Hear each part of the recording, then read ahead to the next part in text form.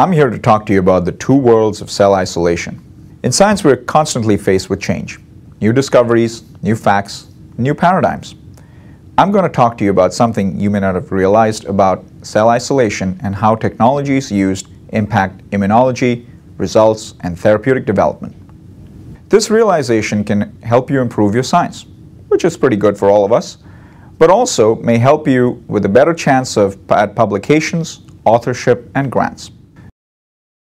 So what's this realization? It's not that there is just one, but two worlds of technology when it comes to cell isolation. Two different planets. There is a nano-sized planet where particles we use are usually less than one micron, and there's a micro-sized planet where the particles we use are larger than one micron. Your view of cell isolation, immunology, therapy, and toxicology can be largely dependent on which planet you live on. While this is an oversimplification, there are many different definitions of nanoparticles in play, depending on technology, manufacturing types, and brands. But to simplify, let's look at Wikipedia's definition. Nanoparticles are sized between 1 and 100 nanometers. So here's the thing. The most commonly used product for cell isolation, referred to as microbeads, are actually only 50 nanometers. Therefore, they're not microsized at all. They're nano-sized, and they're not beads at all. In fact, they are random and irregular in shape. Confusing, I know. So let's just call them nanosized particles, or nanoparticles. They kind of look like cornflakes. And since these nanosized particles are largely comprised of iron and polysaccharides, you could say that they resemble sugar-coated cornflakes. So let's compare this to the microsized planet, where larger magnetic spheres, or beads, are used. Beads that are several microns in size completely spherical and highly uniform. Now, most of us live on the nano-sized planet of cell isolation. Why is that? There are three primary reasons. First, nano-sized particles, confusingly referred to as microbeads, were developed to be compatible with flow cytometry.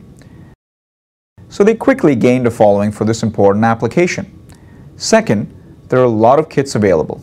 Third, it has the most applications. And as research scientists, you will not often get criticized for using technologies that others have used. For a number of years, cell isolation on the nanoplanet has been humming along. Scientists were happy, they were learning about cells, there, were easy, uh, there was easy acceptance to publish. And until recently, this was all right.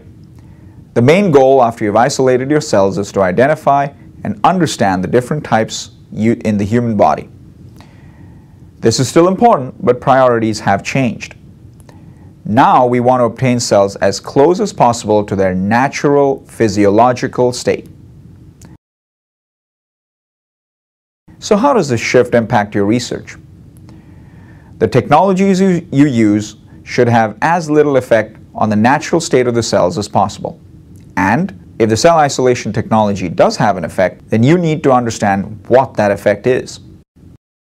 However, there is evidence from the field of toxicology that nanosized particles cross cellular layers and actually accumulate inside intracellular compartments rather than being easily biodegraded.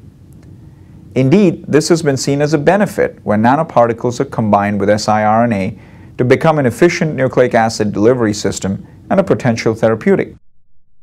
In 2006, Dr. Shenoy and his team showed that coating nanoparticles with PEG or PEG resulted in efficient internalization of nanoparticles in endosomes and cytosol, and they were found to localize in the nuclear region. Indeed, the coating of nanoparticles can be utilized for targeting.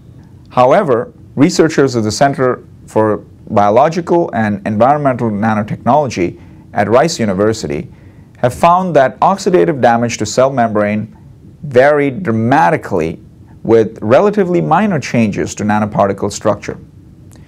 And this leads to a number of questions. What's the impact as nanoparticles accumulate? How would cell physiology be altered? How about cell signaling? Is gene expression affected?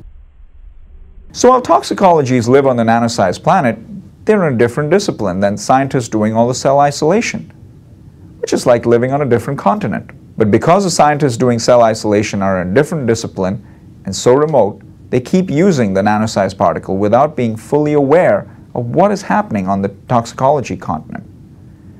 So if nano-sized particles interfere with cellular mechanisms as seen in toxicology studies, then it's easy to understand that the same concerns also apply to cells isolated with nanoparticles. Back on the micro-sized planet, scientists using bigger beads see that they are more controllable. The beads could be added to and removed from the cells.